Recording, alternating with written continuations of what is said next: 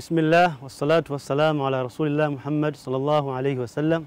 Ndugu yangu Muislam, kwa ajili ya mwanadamu apate kuepukana na majuto siku ambayo hayatunufaisha majuto, na kwa ajili ya kuepukana na hasara kubwa, hasara iliyokuwa kubwa kuliko kupoteza watoto, kuliko kupoteza wazazi wawili, kuliko kufilisika katika biashara, kuliko kukosa marafiki na vipenzi.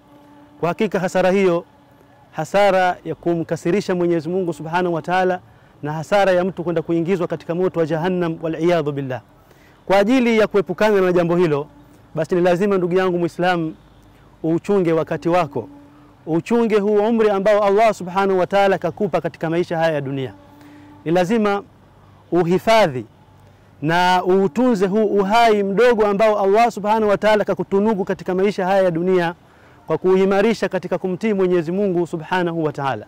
Tunatakiwa kwamba kila dakika, kila saa, kila siku ambayo inapita katika uhai wetu tuipitishe katika taa ya Allah Subhanahu wa Ta'ala. Kwa hakika masahaba ridwanullahi alaihim kanu ahrasa ala awqatihim min hirsikum ala dananirikum wa darahimikum.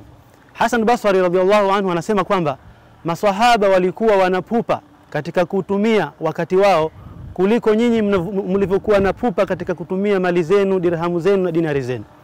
Na pia Ibn Mas'ud radhiallahu anhu akatufahamisha namna ya mtu anavyotakiwa autumie vizuri wakati wake, kwa sababu wakati ndio rasilimali katika uhai wako.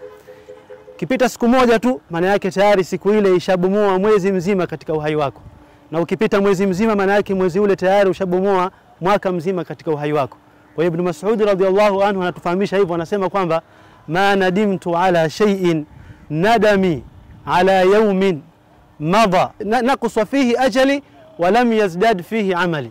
Anasema Ibn Mas'ud radhiyallahu anhu, sijajutia juu ya jambo lolote lile namna nilivyojutia juu ya siku ambayo imepita katika uhai wangu ikawa ajali, yani muda wangu ume, ume, ume, umepungua, walam yazdad fihi amali na ikawa amali yangu njema haijazidi katika siku hiyo. Kwa hiyo ni lazima tuutumie wakati wetu katika kunufaisha e, kwa, katika kufanya mambo mema na pia katika kunufaisha umma wa Kiislamu. Wa sallallahu ala sayidina Muhammadin wa ala alihi wa sahbihi wasallam.